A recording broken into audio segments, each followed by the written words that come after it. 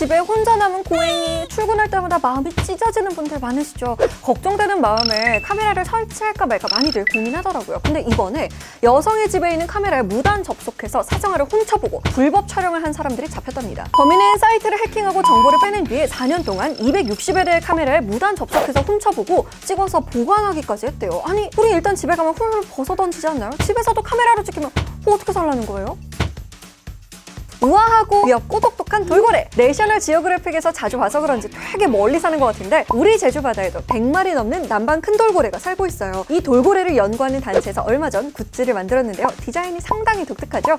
이건 돌고래들이 각자 가지고 있는 독특한 소리인 signature whistle이래요. 자기들끼리 의사소통할 때 쓰는 다양한 소리도 달력에 담겨 있고요. 돌고래 행동이 그려진 마스킹 테이프도 있습니다. 그냥 귀엽고 통통한 돌고래 캐릭터 아니고요. 연구자들이 하루에 12시간씩 관찰하며 얻어낸 결과를 만든 굿즈라 더욱 의미 있어 보입니다. 수익금은 전액 돌고래 연구에 사용된다고 하니까 돌고래에 관심 있는 분들 좋아할 것 같네요.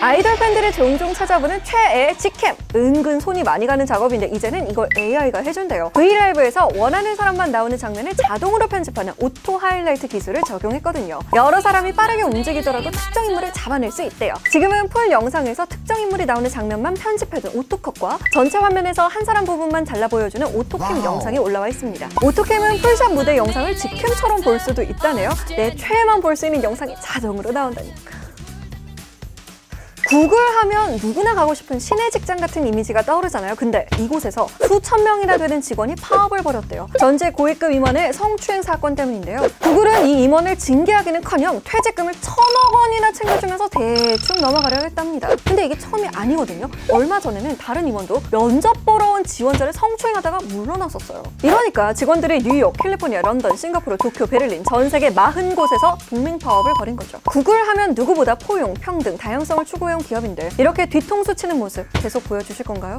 이번 주에도 좋은 이슈들 가져올게요. 일사이프 구독!